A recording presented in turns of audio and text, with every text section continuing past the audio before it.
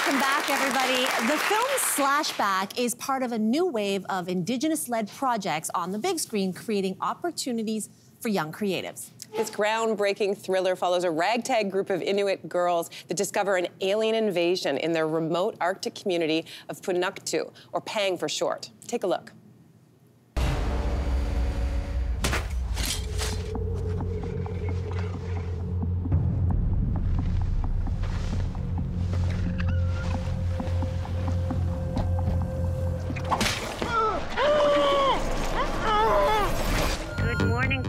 It's the longest day of the year, and what a beautiful one. This place is like a ghost town. For real lame. Welcome to Crap Hole. Population, who cares? Pang? What other crap hole are you living in? I think Pang is awesome. You guys, what is it?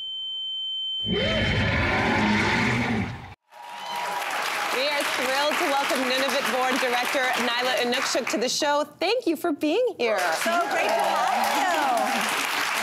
So you have shared that Slashback is a very personal film and it reflects you finding pride in your indigeneity. So you worked with a young cast of yeah. Inuk girls. So can you talk about that reflection and your pride and the, the process of sharing that with this cast? Yeah, it was just the highlight of the experience was getting the chance to work with these teenage girls. They were so much fun, and Rory, our teenage boy who was part of the cast.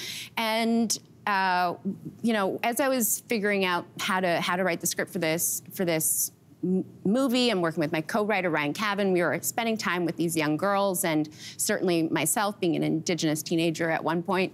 Um, you know, when you're that age, you're kind of trying to figure out who you are and where you fit in. And, and being Indigenous, you're also trying to figure out where your indigeneity fits into that.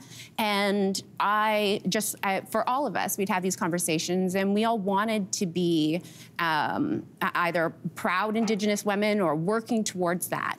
And it was important for us to recognize the, the shame that would sometimes come into our language or, um, and, and we would talk about it when some of the kids would say, "Oh, that's so Inuk." Like, what does that mean? And um, and and really trying to have our language be uh, prideful because that's how we how we feel. Mm. Uh, this this movie it really focuses on the coming of age stories, as you mentioned, as this group of Inuk girls. Um, but in Nunavut, there are no like casting agents for local talent. Yeah. So how did you go about finding your cast? Yeah, it was uh, it was really fun. It was, but it's true. There's no casting agents. There's um, there are not a ton of opportunities for actors in Nunavut, and so it was. Um, we kind of put out this this call for for acting workshops, and and Christine Tutu, who's a local theater actor, and and she ended up working in my props department.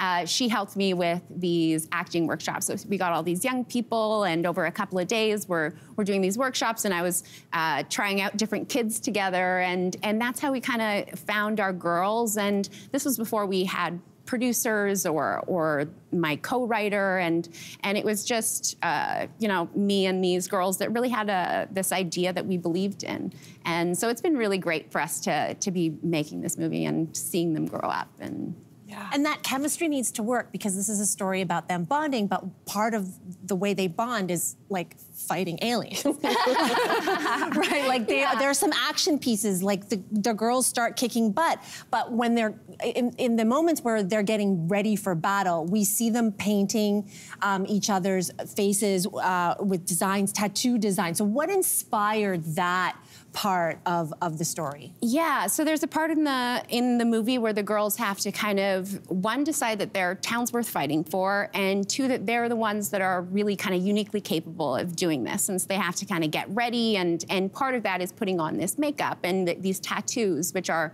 Inuit uh, and Inuit women in particular have uh, traditionally would wear tattoos on their face and all over their bodies, and this is something that was lost during colonization, and a lot of the the, the um, um, the meaning behind the tattoos was lost.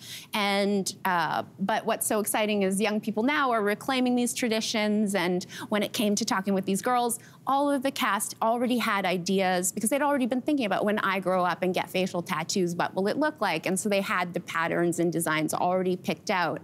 And so it was just a really kind of great moment for all of us. And, and having to do those slow motion walks with the tattoos. At one point, Tasiana, who plays Maika, she was like, this is a real confidence booster. Yeah. so nice.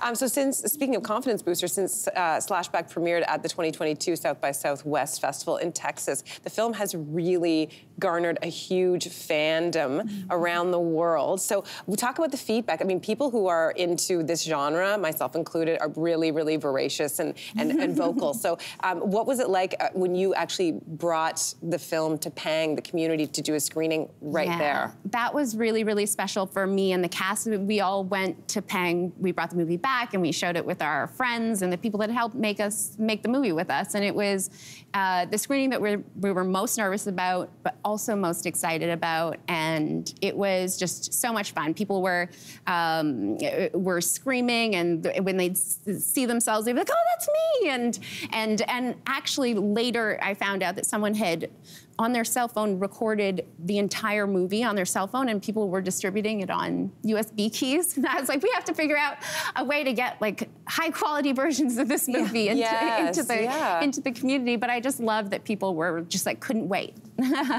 so your film though has has joined what's being called the new wave of indigenous cinema led by indigenous creators. What does it mean to you to to contribute to this body of work? Yeah, it means uh, it means a lot. You know, I, I have grown up with um, the Indigenous screen community being a really big part of my life, and um, seeing other filmmakers advocate, advocating for opportunities that I've now gotten, and uh, it's really exciting. It's it, my friends are making amazing movies. Danis Goulet, who made Night Raiders, and and Zoe Hopkins, who made Run Woman Run, which is like this rom com set on the res. It's it's which is like totally different than slashback but what that's what's so fun is we've got all these different types of stories and now we're getting these opportunities to share some of them well nyla thank you so much for sharing your time uh, you can stream uh, Slashback anytime by heading to Crave, and we have good news for our studio audience. You're all going home with a promo code to subscribe and redeem three months of Crave on yeah. us. Hey there, wasn't that great? Do you know where you can find some equally good content? Our YouTube page. It's filled with discussions, debates, and some laughs. Head there now, like and subscribe.